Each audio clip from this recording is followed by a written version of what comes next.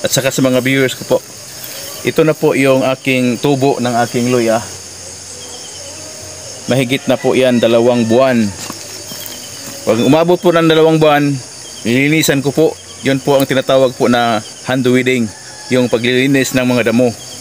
At saka ito, ilang araw lang po nang linisan ko nung umabot po siya ng dalawang buwan inabunuhan ko agad simula po ng inabunuhan ko nung natapos po yung pag-aabono sa July 10 ito na po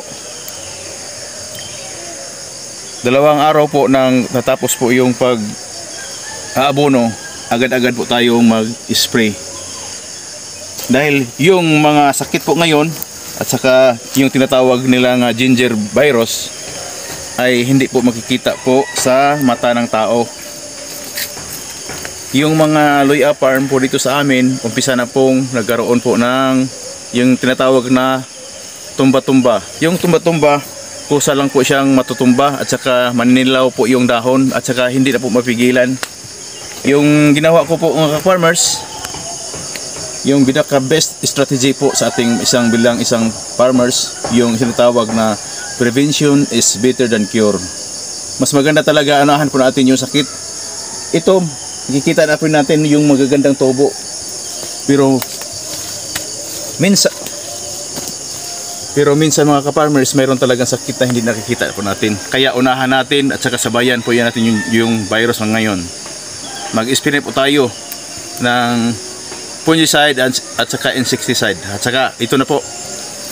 Ipakita ko na rin po sa inyo.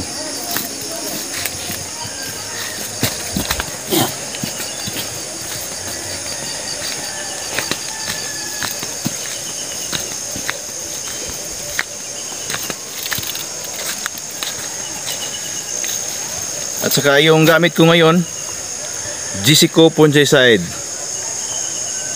Galing po ng FMC. At saka shout out pala sa nagtulong sa nagbigay po sa akin ng isang ano recommendation galing po sa FMC. Sir Ricky Api Malati. Shout out po sa iyo, sir. At saka St. Jude Agricultural Agricultural Supply, Hilongos Liti. At saka yung ano ko, yung isabay ko sa paghalo, buswak po. Dalawang kutsara lang po dalawang kutsara, isang 16 liters po na tubig at saka isang Jessico po na fungicide yung ihalo ko sa bawat isang isang tangki na tubig na 16 liters po yung laman na tubig. Pero bago lahat yon magpismas muna ako.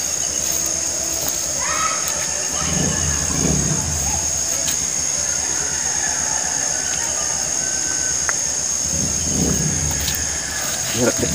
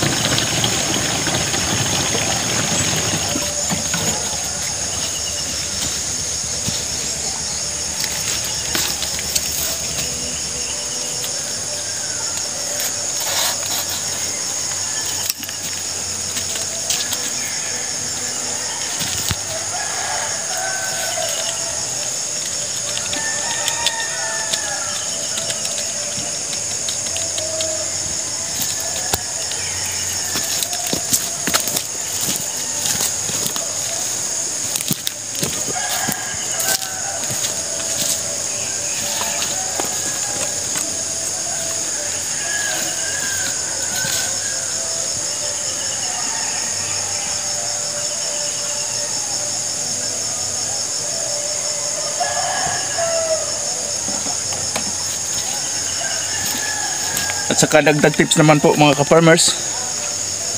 Lalong lalo po lalong lalo na po sa mga baguhan na gumagamit po ng spray. Tandaan po natin na gumagamit po na tayo ng diskarte bago tayo mag-schedule po ng pag-spray. Diskarte muna tayo. Tingin muna tayo sa weather update. At saka kahit ano, hindi ka kapanood sa TV, Yung dito sa amin po, yung mga palatandaan po sa amin, pag tanghali po umulan o hapon man, yung tamang diskarte, umaga tayo po mag-spray. Hanggang alas 9 lang po ng umaga, pag umaga, at saka sa tanghali, umpisa po tayo sa alas 3 po ng hapon hanggang dumilim. Yan po ang mga advice tips po paraan sa pag-spray.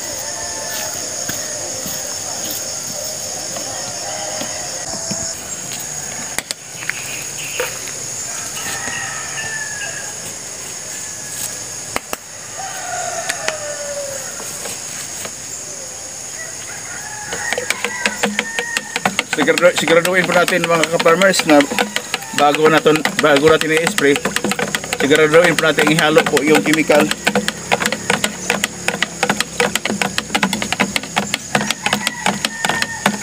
Para ma-mix ma, ma, ma-mix ng maayos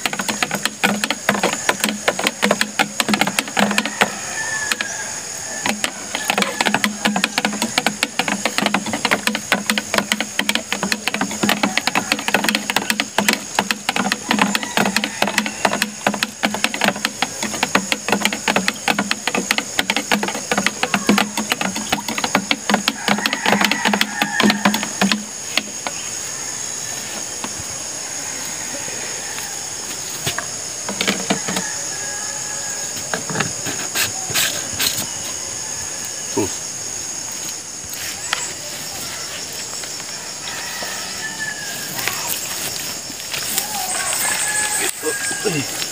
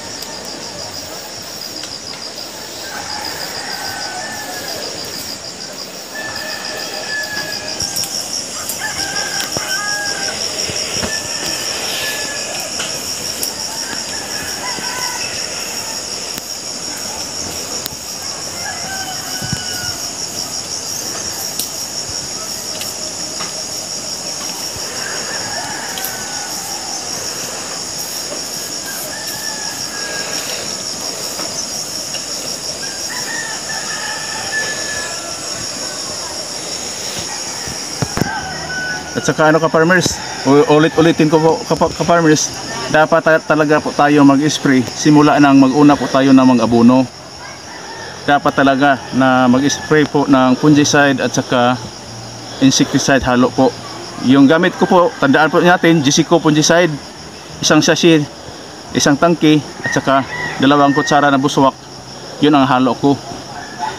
At saka ito na rin po yung kalalabasan po sa pag-una kong abono at saka sa una ko pong spray. Tandaan po natin, prevention is better than cure po mga ka-farmers para mayroon tayong maaani sa sunod na taon. At saka sala- salamat na rin po sa mga viewers ko po at saka sa mga lalong-lalo na sa mga luya farmers. Salamat na rin po at saka more power.